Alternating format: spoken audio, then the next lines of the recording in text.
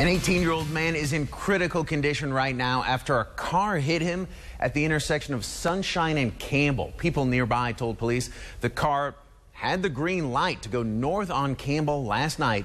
The teen got hit in the crosswalk as he was walking east on Sunshine just before 11:30 p.m.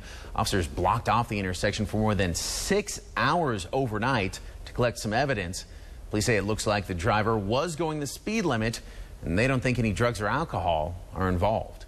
Missouri's Attorney General just started a criminal investigation into the duck boat disaster on Table Rock Lake. Of course, 17 people drowned when the boat sank during a storm less than two weeks ago. Attorney General Josh Hawley says his office is investigating to decide if criminal charges should be filed. Officers in Mississippi County, Arkansas lost a police dog killed in the line of duty. A man running from police shot the dog happened east of Jonesboro. An Arkansas state trooper pulled over that driver last night. Missouri police had been looking for that car. The driver then took off and started shooting at officers, killing the canine and also hurting a trooper, though not seriously. The suspect also got hurt, though, when officers fired back. Let's talk some weather now, Brandon. We got a little rain out there this morning. Hold on. Are we going to get more? Yeah, I don't know. I, who should I ask then? Uh, yeah, yeah, I don't know. Uh, I'll, no, I'm I'll download the KY3 Storm Team app. There you go. I'll put some stuff in there. Now, we actually have some rain when I come back in just a few minutes. Brandon, thank you. Plans to make 3D printed guns like this could be legally available online tomorrow. That's thanks to a court settlement reached last month. The settlement ended a years long legal battle between the State Department and Defense Distributed, which first posted designs for a 3D printed plastic handgun back in 2013. The company insists sharing the plans is protected free speech. But gun control advocates argue the plans allow anyone to sidestep the law. Here's a letter from 20 states and Washington, D.C., urging the federal government to withdraw from the settlement. It says, quote, in addition to helping armed terrorists and transnational criminals, the settlement and proposed rules would provide another path to gun ownership for people who are prohibited by federal and state law from possessing firearms, end quote. In fact, some lawmakers have been pushing back for weeks. I asked the state considerations for our country. And just yesterday, attorneys general from several states, though not Missouri or Arkansas, filed a lawsuit in federal court. That lawsuit is asking for a temporary restraining order to block the settlement. Again, though, if that's unsuccessful, people can download these plans in less than a day. Arkansas's attorney general has given birth to a baby girl. AG Leslie Rutledge is the first constitutional officer in that state's history to give birth while in office. Rutledge announced the birth of her 5 pound, 15 ounce baby girl, Juliana, yesterday. Congratulations. We're just weeks away from the new school year, and if you're a parent, you know it can be tough getting your kids out of their summer routine. Lexi Spivak joins us live, though. Lexi, what's the most important thing we can do to get our kids ready for school? Justin, Justin, back to you. Lexi, thank you. Speaking of school, if you're looking for a job, Springfield Public Schools might be able to help you out. The district is holding a job fair today and wants to fill 50 positions before the school year starts. The fair is at the Kraft Administrative Center. It's downtown on East St. Louis. It goes from 1 until 4 this afternoon. The district is looking for new bus drivers, custodians, cafeteria, and maintenance workers. No experience is required. 20 people in Colorado are hurt after a hailstorm over the weekend. One family shared these pictures right here. They say the hail started pelting their car as they returned from a wedding. They pulled over to try to stay safe, but the hail broke through the windows and hit the people inside. Wow. The family's grandmother right there was hurt so badly, she had to go to the hospital. That is nuts. Very nuts. Brand, I mean, I've my heard goodness. The, the hail out there was uh, baseball size. Uh, and now, your KY3 Storm Team forecast. As Brandon, what we're going to talk about, you're like, storm chances, no temps. So Yeah. does that mean there's no temperatures out there? We Is it, have- it's zero? We have hit absolute zero.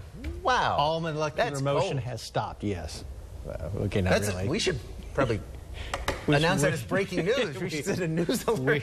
Yeah, we should. People right? that would probably know if that actually happened. Actually, you know, funny thing, yesterday, for those that had rain after waiting so long, it was breaking news to them. And, Oh. and, and so nice. Of course, not everybody got it, but anywhere Yeah. from about an inch down around Table Rock Lake in some cases to two and a half almost in Harrison. Almost too much. That was a good thing. Yeah. Uh, little rain out there this morning we'll look at here. It's Friday through at least early next week. All right, Brandon, thank you. Next, the gift card you can get if you donate blood to the American Red Cross, plus the career move one teacher made to double his income.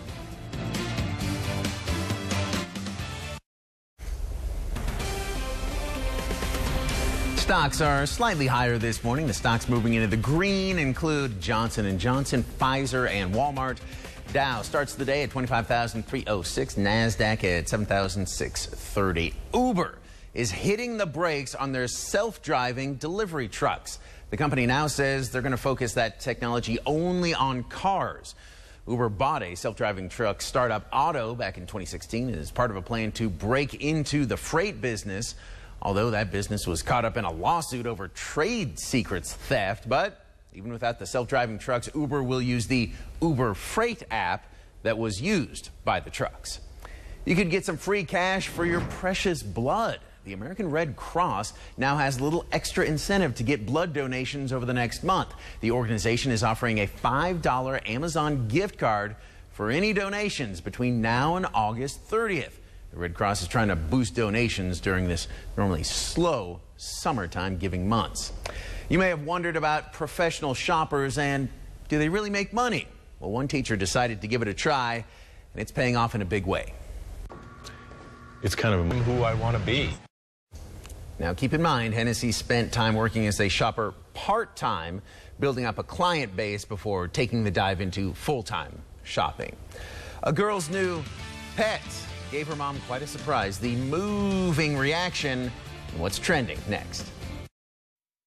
Trending this morning, a surprise makes a young girl's year. A very honest dog and a mom moved when she meets her daughter's new friend. We start with a super dad, though. He told his eighth grade daughter he couldn't afford the dress she wanted for her big dance, but worked three jobs, put in some overtime, and guess what? What? Zipping, big reveal. There it is, the dream dress. And the dream moment. The Brandon, That's you're worth not it for Dad right there. very worth it. That hug went on forever. Brandon, you're not getting the dress. I don't know why you're getting so excited. I'm getting emotional, though. Yeah. It's an awesome You never moment. seen me in a dress.